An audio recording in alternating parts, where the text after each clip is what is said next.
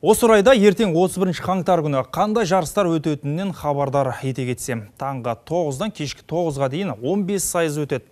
Біздің қазақстандық спортшыларымыз қатысатын жарыстар мынандай.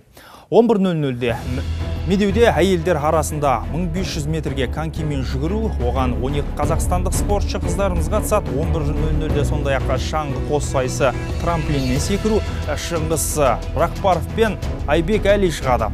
11.15-те биатлон әйелдер арасында 15 шақырымға жеке жарысы Галина Вишневская, Алина Райкова, Дарья Усанова мен Анна Кистанова өнер көрсетеді. Ал 13.00-де конькимен жүгіру спорты ерлер арасында 5000 метрге жүгіру. 12 қазақстандық спортшы жігіттеріміз қатысады, сондай ақ 15.30-да шаңғы қос сайысы 10 шақырымдық жарыс тағы Шыңғыс Рақпаров пен Айбек Әли шығады.